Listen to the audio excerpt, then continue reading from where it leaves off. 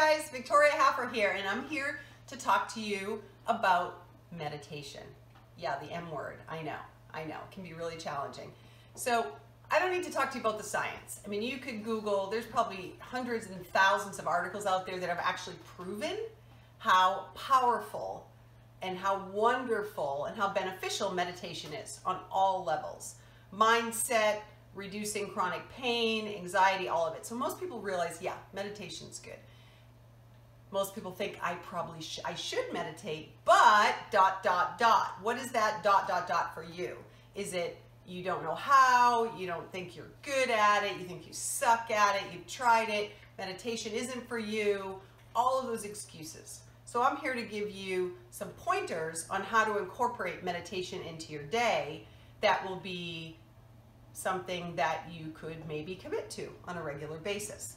So really, number one is find something that you absolutely love to do that is actually good for you right? So it could be something creative. It could be writing or reading or art or gardening or spending time with your horse or your dog, right? And then do more of that.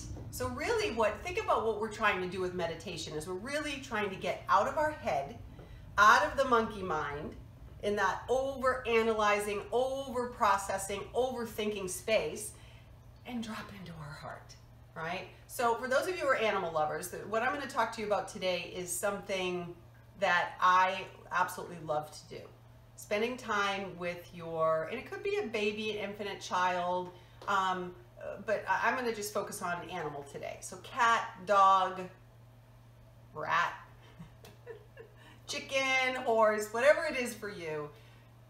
Find a space where you're not going to be interrupted, so shut, shut off your electronics, turn off your phone, put on some just nice, relaxing, quiet music, and then we're gonna move into a gratitude state of meditation.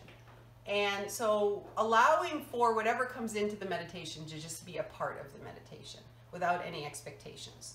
So I have here in the back my assistants, Captain America and Thor, the Pup of Thunder. Thor is having a meditation with his little toy, the piggy. So let's see how we do with this. So you find a comfortably seated place. Now, if you're not comfortable sitting on the floor, then don't. A chair is fine. A straight up, strong chair that allows for your spine to be long. That's the most important thing. So we sit down, we get comfortable, you get warm, you start the music. And now we know that gratitude is a very high vibrational emotion. And love may even be higher. It's right up there with, with gratitude. So sometimes, have you ever been in that space where you watch your a loved one, your cat, your dog sleeping, and you just look at them and you literally feel like your heart is just melting and you feel like it's just like outpouring, right? And you go and shift into that space of pure love. So when you're in that space, nothing else matters, right? And that's really where you want to get into that space of meditation where you're doing something where time stands still and nothing else matters. And so when I take a look at my boy, one of the loves of my life, Thor, my heart just grows. And so if I get into that space and you can place a hand on them and close your eyes, and you can keep your eyes open as well. So you could do use one pointed focus as one of the techniques of meditation and just to look at them. And make sure you're breathing comfortably and easily. And anytime you notice your mind wandering off to something that you're you don't need to be paying attention to in this moment, just bring your awareness back. Present time, right here, right now, to this amazing soul that you love so much.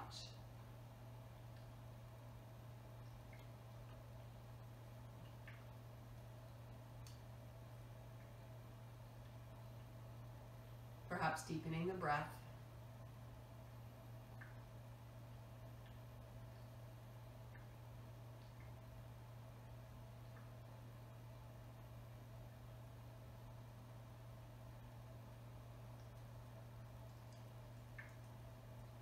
Once again, redirecting any thoughts that are not of the highest vibration we know as love and gratitude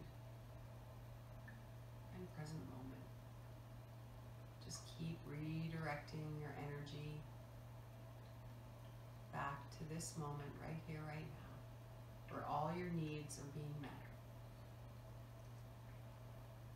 And you're not wanting for anything.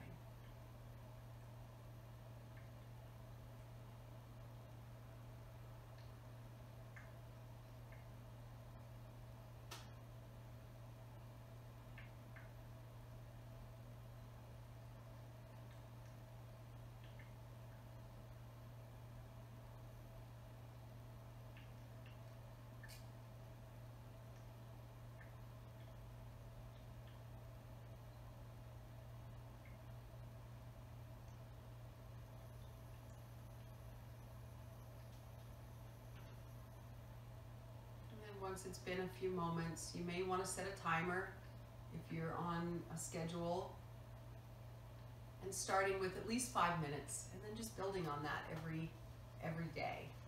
And just make a commitment. You may even want to put a reminder in your phone to say, set your time for you, your time. To let go, to detach from distractions and just take some time to fill you up energetically. And then extend the thanks and love to your furry friends for spending loving time with you. And we look forward to seeing you again.